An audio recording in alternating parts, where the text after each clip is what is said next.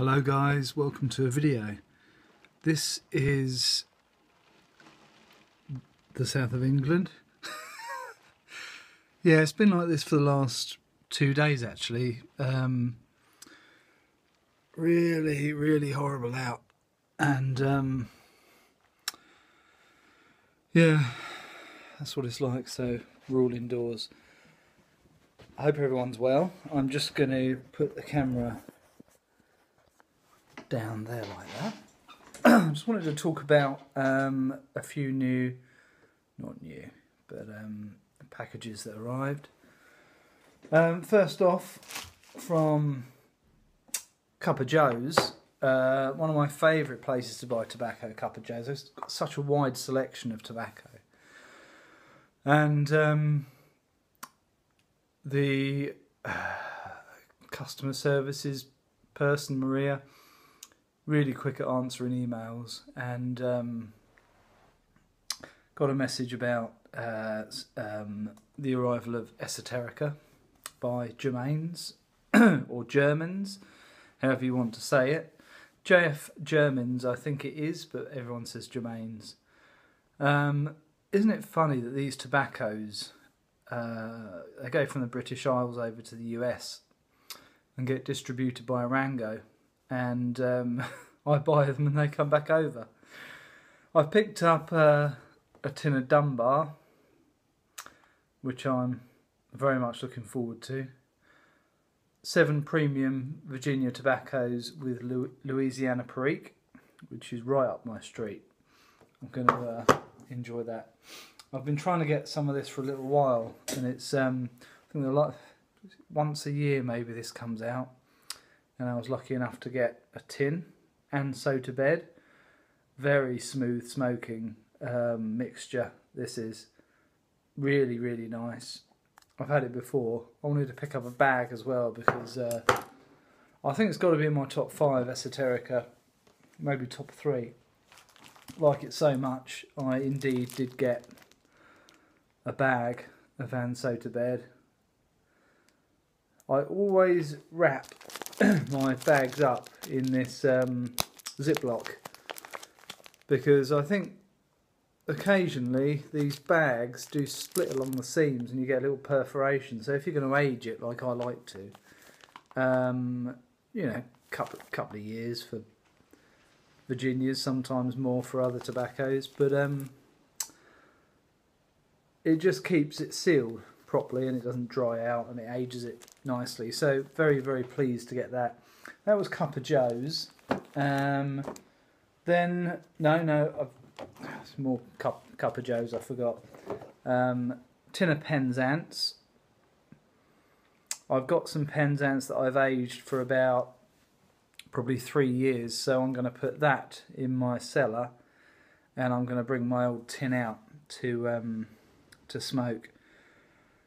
Um, I know the hype involved around this tobacco.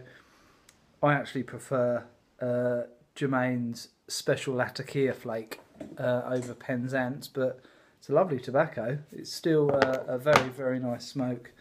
Um, a couple of years on it, really. Um, I was lucky enough to pick up another tin of Balkan Sobranie. Maybe not as good as the original, but I never got to try the original, so I, I wouldn't know that. I think it's a fantastic mixture. Lovely tobacco, uh, nice bit of Latakia, but it, you know, it plays second to the other tobaccos that are involved, and it just it's a nice Balkan mixture, really. Um, things that come close to it, maybe Balkan Blue, um, possibly if you can't get Sobranie, which is so hard to get, isn't it? Um, I probably get it twice a year on each. Well, I find Esoterica ships twice a year. It used to ship three times a year, but it's twice now. And this shipment was really late. Um, and being in the UK, we get all the Germains, uh, tobacco, rich dark flake, brown flake, medium, special latakia, plum cake. Um, so we're not overly bothered about missing out, but that's one thing that has just surprised me. Never, is released in the UK because um, just run out battery. It was only ten years ago you could you could buy this in pouches in the UK, and then it disappeared. It's kind of annoying. Um, Gawith's do quite a nice Balkan though, um, but you, I can't beat that Balkan Sobranie. It's perfectly mixed. It's such a classic tobacco. And then the big one from Smoking Pipes, Pipes and Cigars. Can't remember. I picked up a bag of uh, Penzance, which um, again I've put in this cellophane wrap. I'm going to bring out my other um, bag of Penzance and um, dish that out to a few friends and I'm going to put this one in the cellar. So yeah, very pleased to get another bag of Penzance. Um, I was lucky this time around. Sometimes you are, sometimes you aren't. Um, but you know, some people hunt for it and pay silly money on eBay. I really don't think that's the way to go.